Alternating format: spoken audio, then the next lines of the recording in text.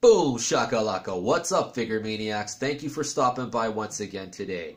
Today's video I'm giving you guys a tutorial on how you guys can make an ocean diorama for your SH Monster Arts figures or your Pacific Rim NECA figures.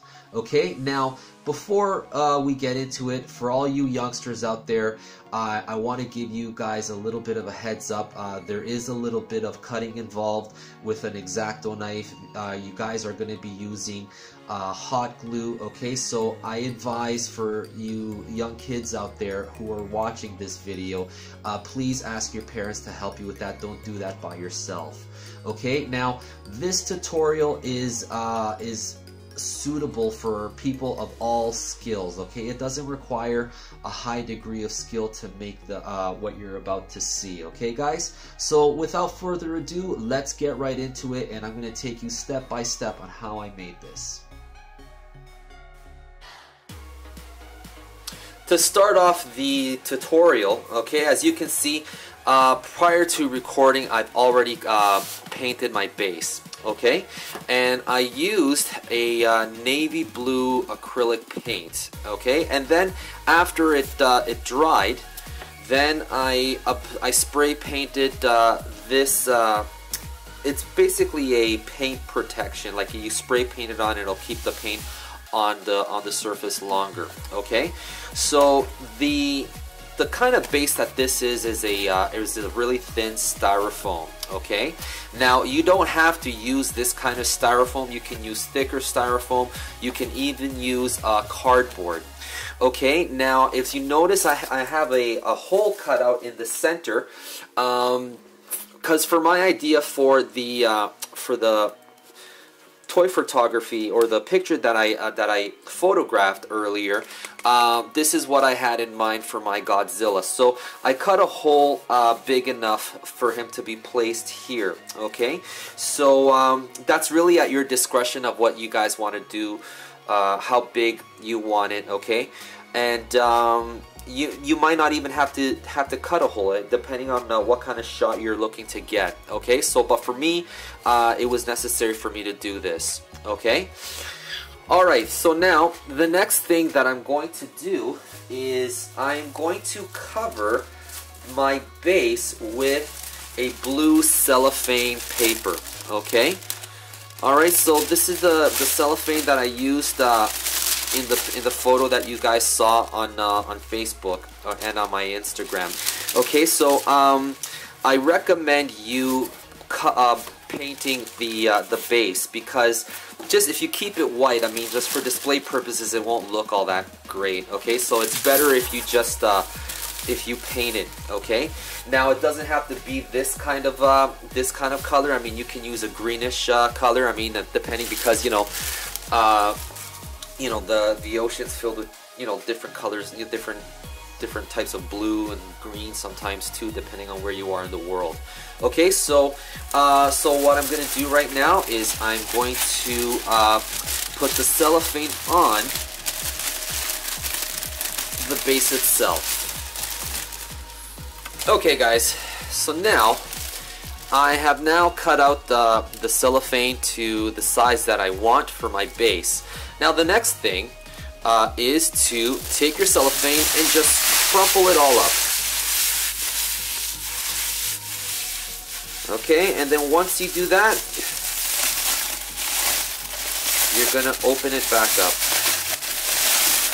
Okay, now the reason why you wanna crumple it up is because when you take photos with it, like in my case, uh, all the crumples and everything in the cellophane, uh, it makes it look very randomy. So like it, when you take photos of it, like if you notice in my Godzilla uh, 2014 uh, picture, um, it made the it made it gave the illusion like the the water's randomness. Okay, so that's why uh, you would want to do this. It's also for display too. Um, it would look pretty nice. So I did it one more time.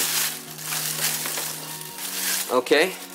Alright, now, what I'm to do now is I'm just to cut uh, the this part over here to accommodate my uh, my figure okay so I'm gonna use an X-Acto knife for that okay so uh, Yeah, I'll be right back.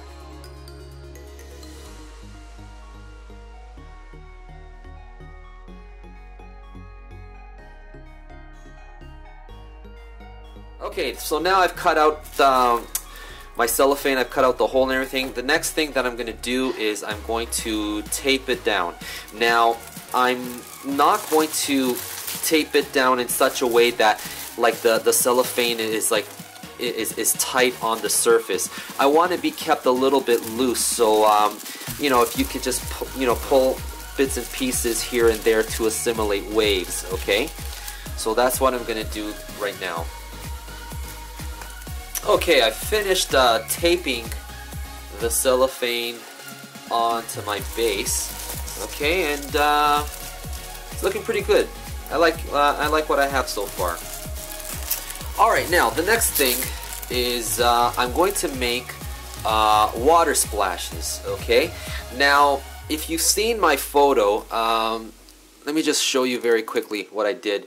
Okay, so there was my Godzilla. Let me just move the camera up a little.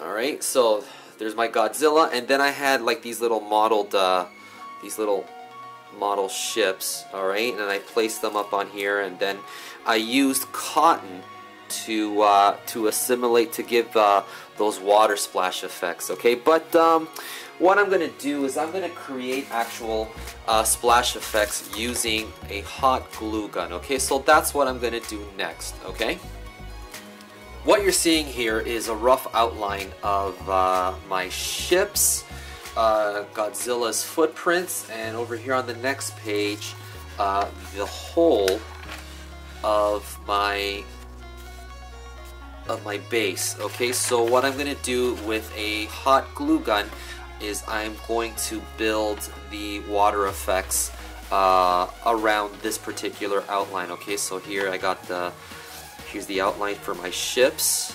Okay, and um, you guys will see what I what I what I'm gonna do next. Okay, uh, how to make uh, these these effects. All right, so that's in the next part coming up right now. Alright, so I'm gonna start off making the splash effect uh, for my Godzilla. Okay, so you can see I've traced out my outline here.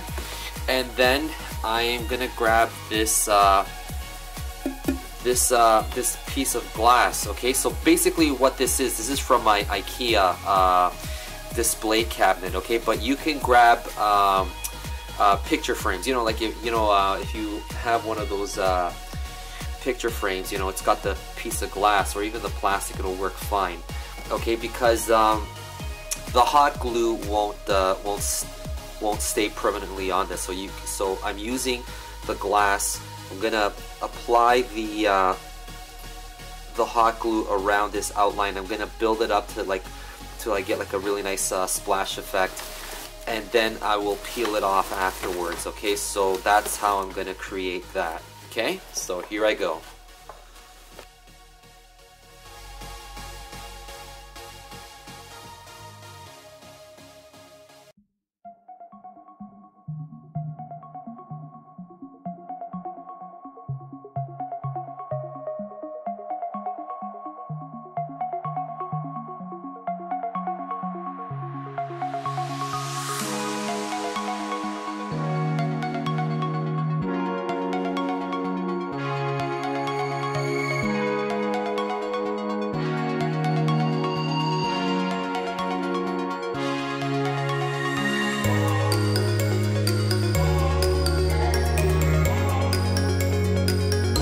About covers everything, guys. Thank you so much for watching.